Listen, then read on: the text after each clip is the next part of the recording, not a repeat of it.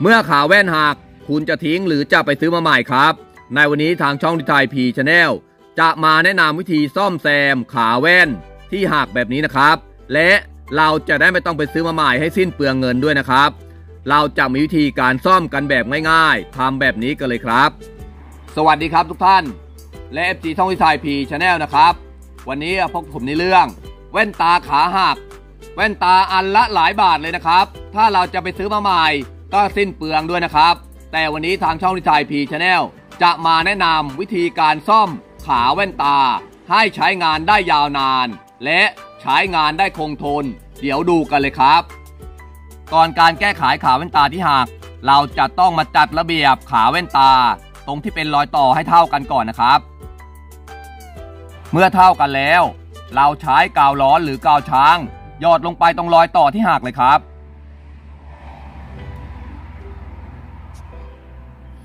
เดี๋ยวเรารอสักพักให้กาวร้อหรือกาวช้าง ประสานกับขาแว่นตาก่อนนะครับ เมื่อติดแล้วนะครับ เรามาใช้ตัวช่วยเป็นผงซักฟอกโรยลงไปตรงรอยต่อเลยครับ ที่เราหยอดกาวไว้ และใช้นิ้วแตะแบบนี้ครับ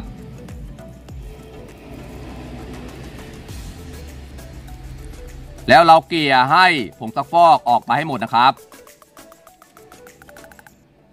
แล้วเราใช้กาวร้อนหรือกาวช้างยอดซ้ำลงไปเลยครับ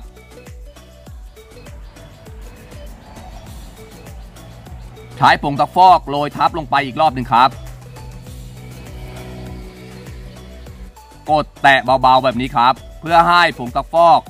ติดและประสานกับกาวร้อนครับ เมื่อได้ข้างเลยนะครับ เราก็มาทำอีกข้างหนึ่งครับ โดยการใช้กาวร้อนหยอดลงไปนะครับ ตรงที่เป็นรอยต่อครับ ใช้ผงซักฟอกหยอดลงไปเหมือนกันครับ แล้วใช้นิ้วค่อยๆ กดลงไปนะครับ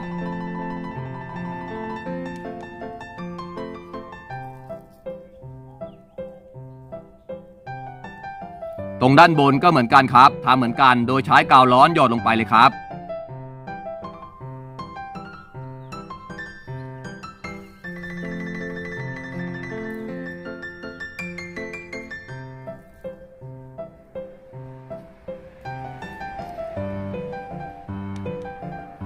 ด้านล่างก็เหมือนกันครับ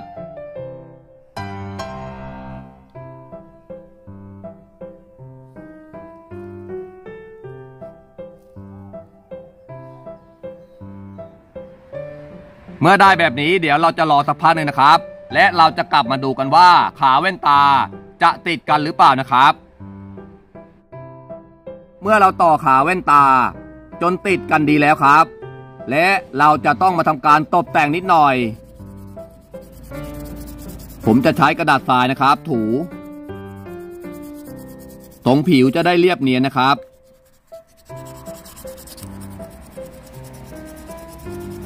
และเมื่อเราถูไปสักพักหนึ่งนะครับ ผิวตรงนี้เรียบเนียนแล้ว เราก็นำผ้ามาเช็ดกันดูเลยครับ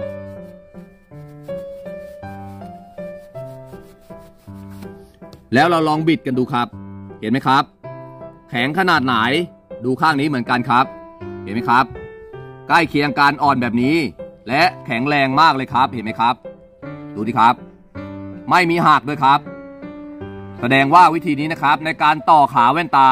ใช้ได้ดีเลยครับ และถ้าเกิดว่าตรงนี้นะครับ ใครดูไม่สวยงาม เราก็ตกแต่งนะครับ หรือนำสีมาระบายนะครับ เพื่อให้ดูดีหน่อยนะครับ อาจจะไม่กลมกลืนบ้างนะครับ แต่ เราก็ไม่ต้องซื้อมาใหม่นะครับ ให้สิ้นเปลืองเงินด้วยครับเอากลับมาดูหลังจากที่เราตกแต่งขาแว่นตา ดูตรงที่เป็นรอยนูนเห็นไหมครับ เราต่อขาแว่นตาไว้ตรงนี้นะครับ และเรานำสีมาระบายเสร็จเรียบร้อยแล้ว ก็ดูดีอยู่นะครับ และจะใช้งานได้อีกยาวนาน และคลิปนี้ทุกท่านมีข้อสงสัยอย่างไรนะครับ ฝากคอมเมนต์ไว้ใต้คลิปทางช่องนิทายพีชาแนลได้นะครับ และคลิปนี้ผมหวังว่าทุกท่านจะได้รับประโยชน์ ถ้าขาแว่นตาของคุณหักทำแบบนี้เลยครับ ขาแว่นตาของคุณจะคงทน และใช้งานได้อีกยาวนานเห็นไหมครับ เราไม่ต้องไปซื้อแว่นตามาใหม่ หรือเปลี่ยนขาแว่นตาด้วยนะครับทำวิธีนี้ได้เลยครับ เห็นไหมครับ พับได้เหมือนเดิม และหักงอได้เหมือนเดิมดูสิครับ และคลิปนี้ก็จบเพียงเท่านี้นะครับฝากกดไลค์กดแชร์ กดติดตามให้ช่องวิทยพี Channel ด้วยนะครับ ขอบคุณมากครับจากวิทยพี Channel ครับผมขาแว่นตาของคุณจะใช้งานได้เหมือนเดิม และจะใช้งานได้อีกยาวนาน ด้วยวิธีการต่อขาแว่นตาแบบนี้เลยครับ